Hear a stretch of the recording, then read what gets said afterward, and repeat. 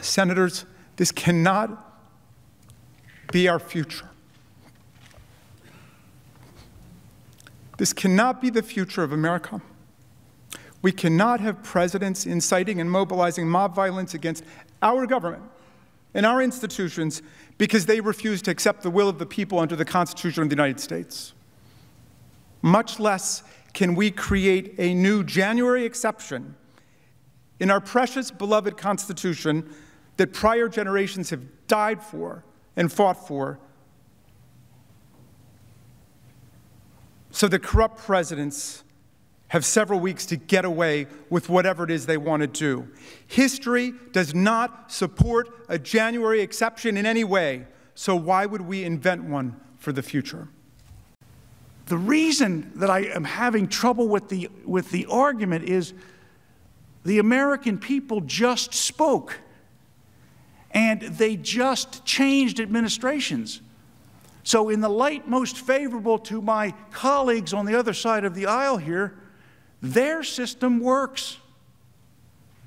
The people are smart enough, in the light most favorable to them, they're smart enough to pick a new administration if they don't like the old one. And they just did. And he's down there, Pennsylvania Avenue now, probably wondering how come none of my stuff is happening up at the Capitol.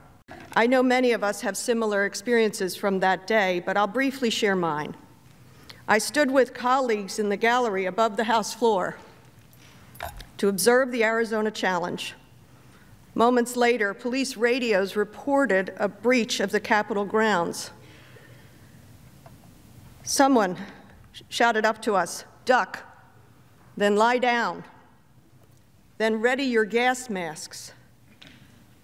Shortly after, there was a terrifying banging on the chamber doors. I will never forget that sound.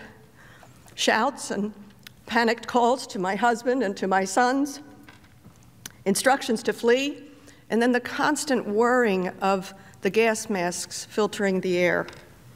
The chamber of the United States House of Representatives turned to chaos. While Vice President Pence presided over the joint session, Trump supporters began their assault on our Capitol. Radio communications from the Metropolitan Police Department highlight how during and following President Trump's speech, Trump supporters descended on the Capitol and became increasingly violent.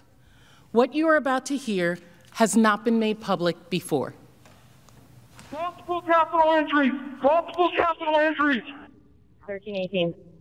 A 12 to 5th, and we're coming around uh, from the south side. Be advised the speed ended. Intel 1, be advised you got a group of about 50 uh, charging up the hill on the west front, uh, just north of the, of the stairs. Uh, they're approaching the wall now. Uh, they're starting to dismantle the reviewing stand and throwing metal poles at us. Cruiser 50, give me DSO up here now! DSO! Multiple law enforcement entries! DSO, get up here! Alright, we're 30 seconds out. Yeah, we need some reinforcements up here now. They're starting to pull the gates down. They're throwing metal poles at us. Cruiser 50, DSO, get up here! Okay, we're here.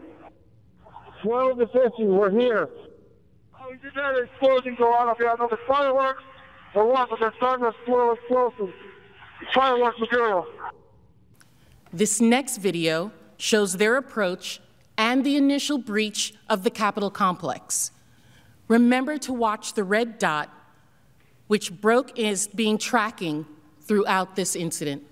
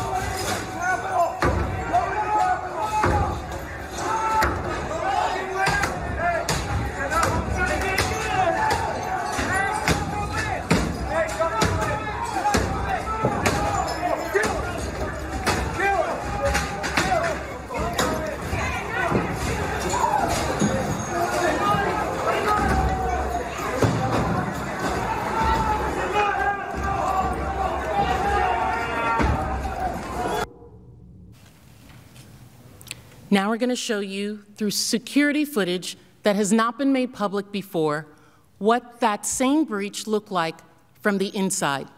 Now, because this is security footage, there's no sound. Note, as the video begins, we are seeing the inside view as the mob approaches from outside and beats the windows and doors. You can see that the rioter first break the window with the wooden beam that you saw previously, and a lone police officer inside responds and begins to spray the first man who enters, but is quickly overwhelmed. I want you to pay attention to the first group of assailants as they break into the building. The second man through the window is wearing full tactical body armor and is carrying a baseball bat. Others are carrying riot shields. Among this group are members of the Proud Boys, some of whom, like Dominic Pezzola, who was recently indicted on federal conspiracy charges, we will discuss later.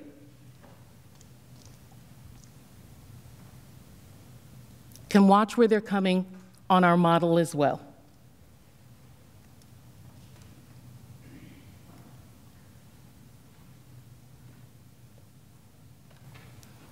Officer Goodman passes Senator Mitt Romney and directs him to turn around in order to get to safety.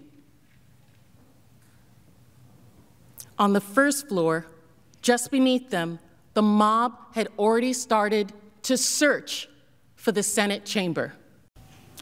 Uncertain what would happen next, I sent a text message to my wife.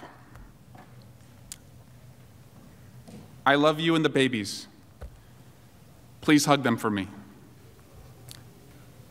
I imagine many of you sent a similar message. Ashli Babbitt attempted to climb through a shattered window into the House lobby. To protect the members in the lobby, an officer discharged his weapon, and she was killed. I want to warn everyone that the next video, which shows her death, is graphic.